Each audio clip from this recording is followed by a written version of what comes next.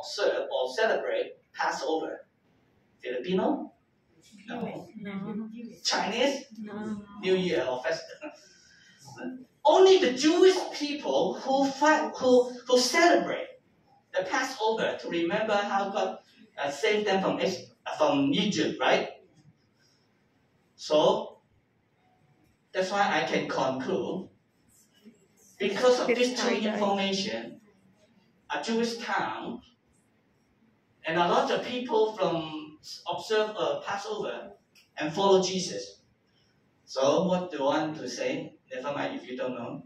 I don't say it down. Okay, look at the second location. The second um, miracle, according to Matthew 15 and Mark 8, the miracle of feeding 4,000 happened on a hill facing to the sea of there's a place, no name. You you you have no no clue. So what I want to say, before Jesus performed this miracle, Jesus was in Tyre and Sidon, those two foreign or Gentiles town, who where Jesus healed a daughter from a Canaanite woman. Do you remember this story? Yeah. Because of this, a lot of people follow from this two town to Decapolis. Decapolis is not a, a city, it's a district. Means ten towns. Decimal, politan from two words. So Deca, ten polis, towns. So now you may know what Pastor Rance want to say. Okay, last four minutes. If you don't follow, never mind. Now you listen to this little conclusion. I will conclude that the first miracle, 5,000 was being fed because the follower are Jews. Jesus saw the Jews had the need. They, he fed them. The second miracle, most of the multitude or the crowd are from Gentile, from Greek towns. They are Gentiles. Jesus also saw the need of the Gentiles.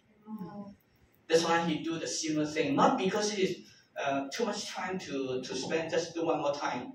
No. This is the why the Bible says the miracle or mystery. I will read. Why don't we read together? This is the conclusion of these two two miracle performed. The reason behind. One, two, three. For he is our peace, who has made us both one, and has broken down the dividing wall of hostility, by abolishing in flesh the law of commandments and ordinances, that might create himself one new man in place of the two, so that he please and might reconcile us both to God in one body through the cross, thereby bringing hostility to an end.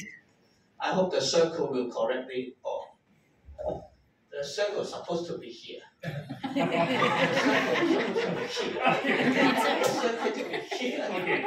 After from the PC to Apple, the Apple changed to orange. So I want to tell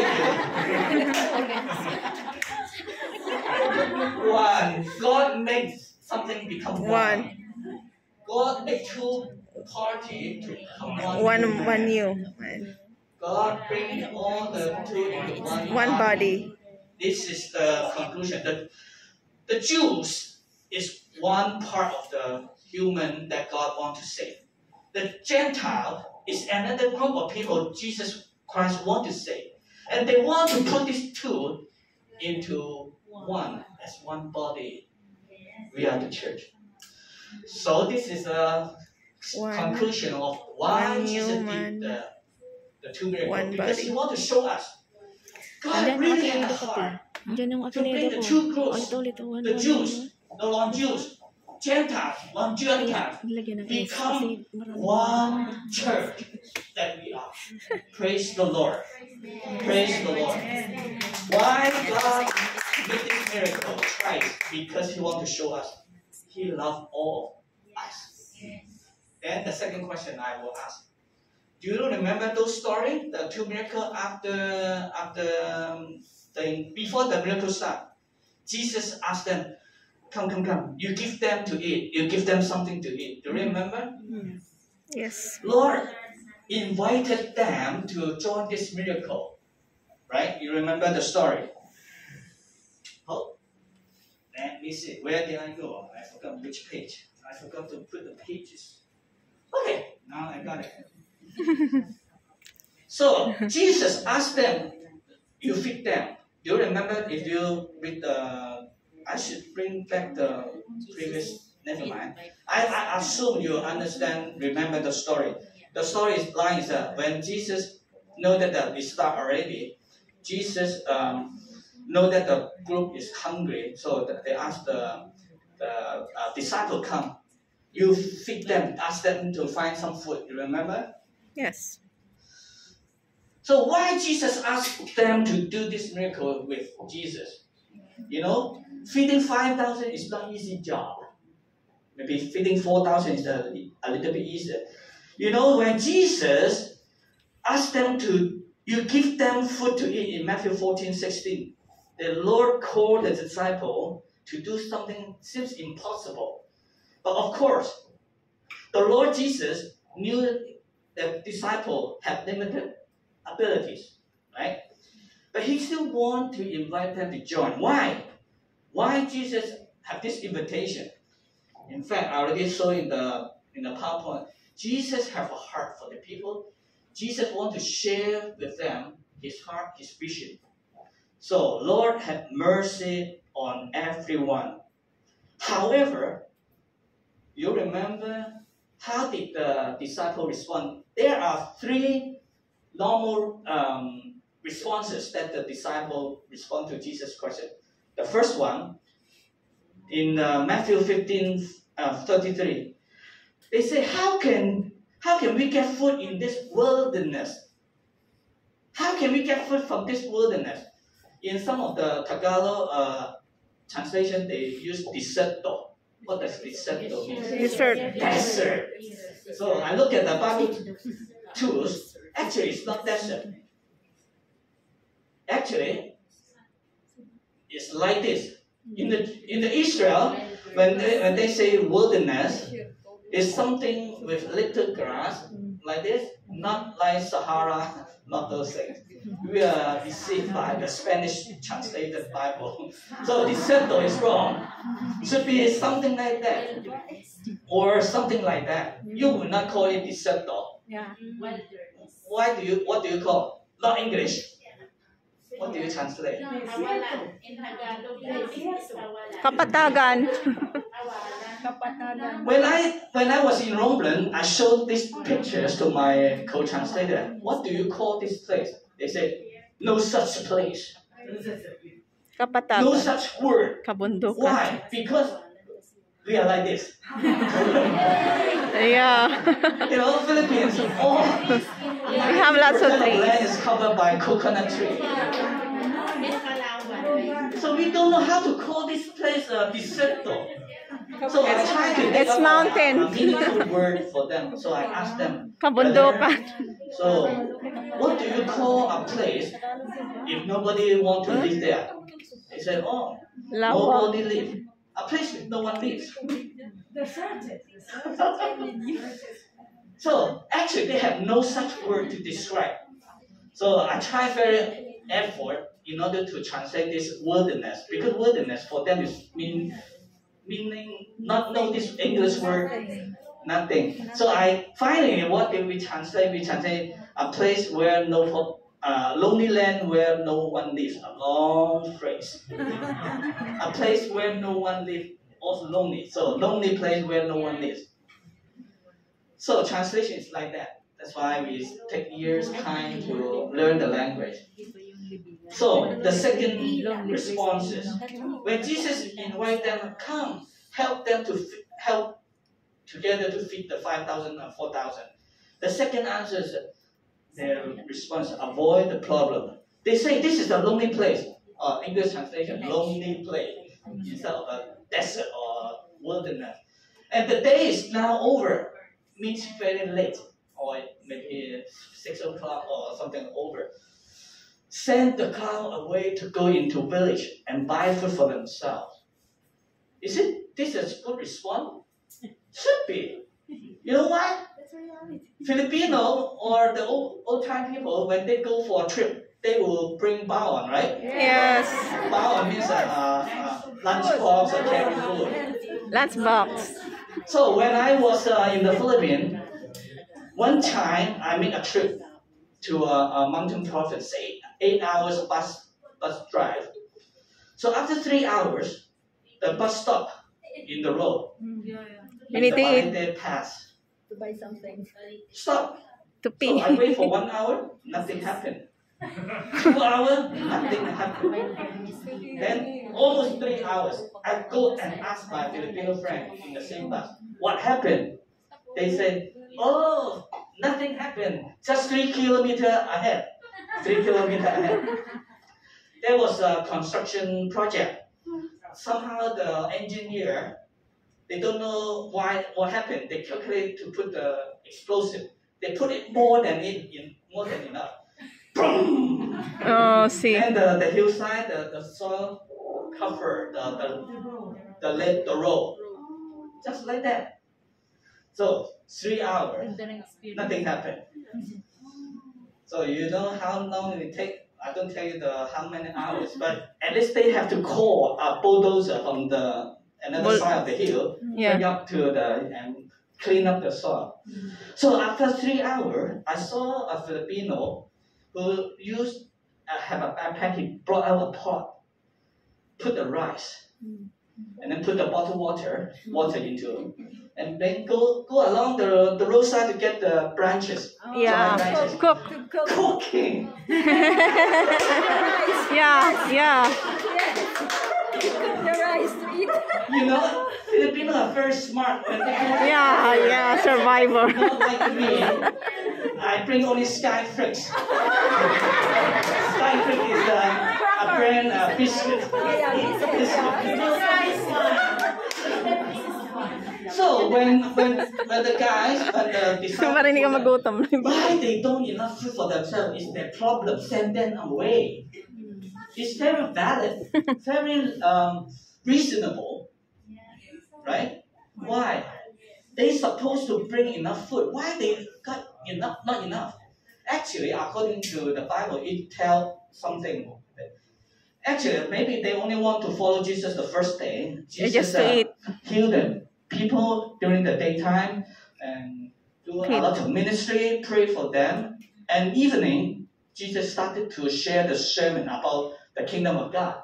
People say, good, good sermon. And then they told Jesus, encore, encore. So the second day they stay behind in the in the morning and uh, do the ministry, pray for the sick, heal the people, uh, cast out the demon. At the evening, Jesus did the same, preach the gospel kingdom. They say, good, good, encore. Because of the third day, according to the Bible, this is the third day. They run out of food. Yes. Not because they are not well prepared, they prepared, but not enough. That's why when Jesus saw this situation, they said, Come on, let us feed them. Of course, the problem is they don't have enough food. Magadan is a small town. Opposite to Magadan is nowhere place. How can you buy food in a nowhere place like me in the Balete Pass? Nothing. Yeah. So this is the second responses. The third responses, maybe you are one of those, maybe, is accurately calculated. According to John 6 7, Philip, Philip said, 200 denarii would not buy enough bread for them.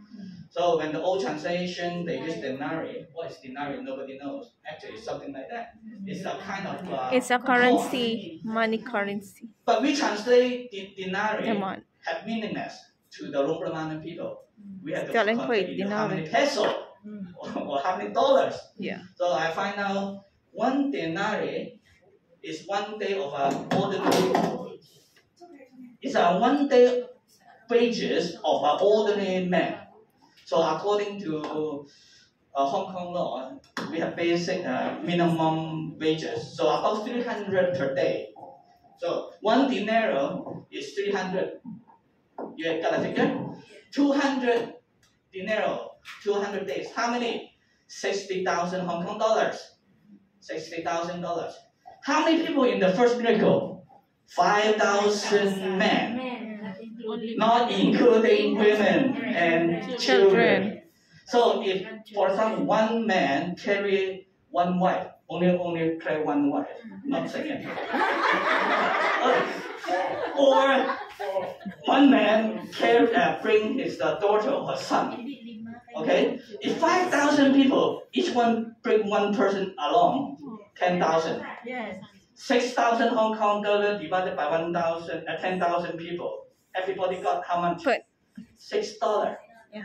Can we go to the MTR in the top They buy a phone No. or a McDonald? No. Not enough. That's why Philip said, Philip, sorry Jesus, I'm an accountant. I figure out there's about ten thousand people. Look at it. Even eight months, each 200 days of wages, we cannot buy enough food for them to, to feed them. So these three responses is very legitimate, very uh, normal, reasonable. If you are, for example, if you are those in those times, you are one of the disciples, you may be answer Jesus with this answer. But Jesus is not happy with those answers. For example, look at the, the need of the world. We, we, are, we already commanded to do the great commandment go preach the gospel to all around the world. Then we may say, Jesus, Jesus, we don't have enough budget. How can we do this? Jesus, Jesus, they are the Muslim, they are the Buddhist, their own. Why they choose the wrong God? Let them find their own God, right? Or Jesus, Jesus, oh, too dark. This is the wilderness. This is a place with the objective of the people who are soul-hearted, stone-hearted. No way to convert them. So we may choose to respond when Jesus asks you to join. Of course. I know the, what the story follow happened. Jesus said the first question or first request, you give them something to eat. Then three responses. Then Jesus didn't want them to just go away. Jesus keep on asking, how many? Go and find it.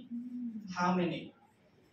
Of course, you know the first story, you find out five fish. No, no. Five loaves. I'm hungry already. Five fish. Lapu lapu. Mix up story. So the first miracle, five loaves and two fish. The second is seven loaves and few, no no number. Why? Do you know why Jesus asked them to do uh, a research or do a uh, asking around how how many or how much? Because you want You know to what? three. If they don't know there's nothing enough or nothing uh, enough to feed the 5,000, they will know that this is a miracle. If you find out, oh, everybody have still their own the last meal, they just don't want to share with Jesus, then even though the miracle performed, you won't glory to God. So whenever we find out we have only little, and God did something miraculous for us, we will say good goodness to God. Okay. Jesus want them to take the responsibility, the same uh, to you. Jesus also want you to calculate the cost, find out how much you have. Jesus want you, most important, participate with His glory, because Jesus know that by our own human effort, this uh, great commandment cannot be done. But if you join Jesus together, Jesus will do it himself. He will bless. He will perform. Even make it excess. Wonderful God. So now I would like to share the, my last uh, application. I'm a Bible translator. You know, the application is I'm the bread of life. The physical food feed you, you still will hungry again. But if you get something from Jesus, the bread of life, the word that spoken to you, uh, spirit and life or giving life, that means if you have the spiritual food, which is the word of God, they will have a life last forever, everlasting life. Then I want to ask you, this information please bear in your mind. Now the world population, population is 7.8 billions. How many zero? I don't know. 7.8. Do you know how many languages are used in the globe?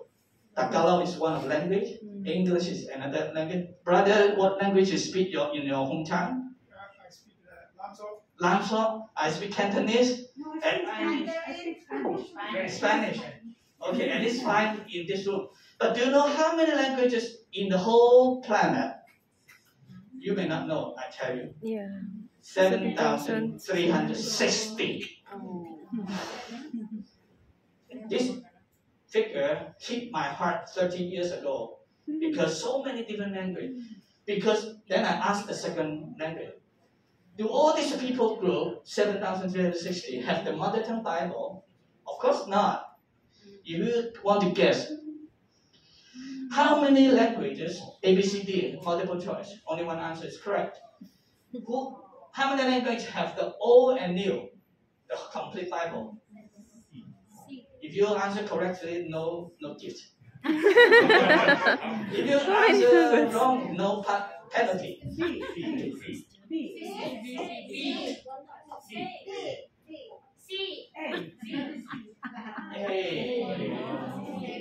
So little. Only 707. As lucky as you are, God bless your country, give you the Bible, new and old. So, Apple, move back. 7,360 languages, only seven and four languages of the complete Bible. You get the right thing. That is. This is the exact computation. Pray for it. Look at it. 700 have complete Bible. New Testament part only 1,551. One is Roman Portion means one book. Or Gospel of Mark or Gospel of John. 1,160. That means 3,415 have some degree, different degree of scripture. So 7,316 minus this will be this one. That means around the world, 3,900 languages without a Bible or without a verse of Bible. However, within these 3,000, there's about 1,900. They have they can speak two languages. You know, some country, the people can speak multiple languages. If they are mother tongue, not have Bible, but the national language, they have the Bible. So we minus this portion. So that means at least 2014 language group in the world, they have definitely no way out to help them if you don't translate for them. Now you know why my topic, who will fit the last 2000? I'm referring to this 2000 language group. If you believe the word of God is the bread of life for eternity, we have to give them the food. Sorry, I didn't translate to English. You got it? so pray for these 2,000 languages. Yeah.